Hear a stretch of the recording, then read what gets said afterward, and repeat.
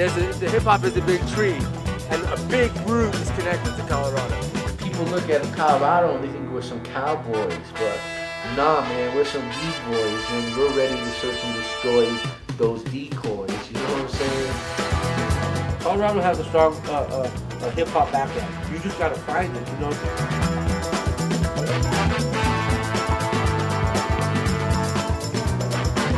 I would wake up in the morning, open up my eyes, and hit a power strip next to my bed and turn them turntables on and just work it.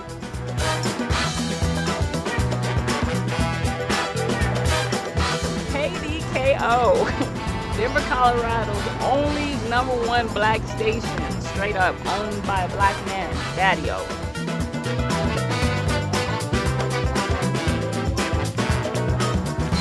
could think that these brothers from Denver is from New York, ATL or something like that. But uh, nah, they straight from Denver, Colorado, man.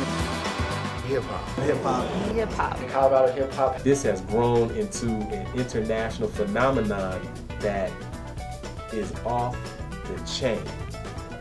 And you have to connect with different cultures and communities to get different pieces of the story.